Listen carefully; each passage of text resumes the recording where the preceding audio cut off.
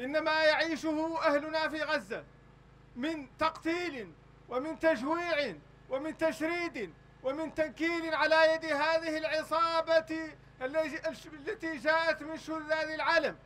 إن ما يعيشونه اليوم هو أول حدث تاريخي بهذا الحجم وخاصة في القرن الواحد والعشرين. لكننا في هذا المقام نقول أن كتائب عز الدين القسام وفصائل الفلسطينية الأخرى مرغت أنف العدو في التراب وهي منتصرة بإذن الله.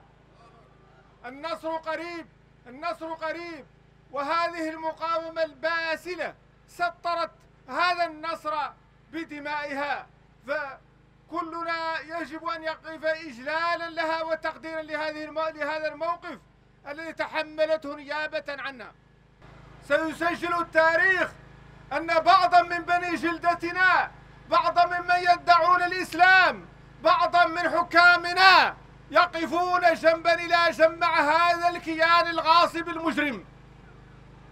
ونقول لهم أن موقفهم هذا المخزي سيسجله التاريخ ولن يضر القضية.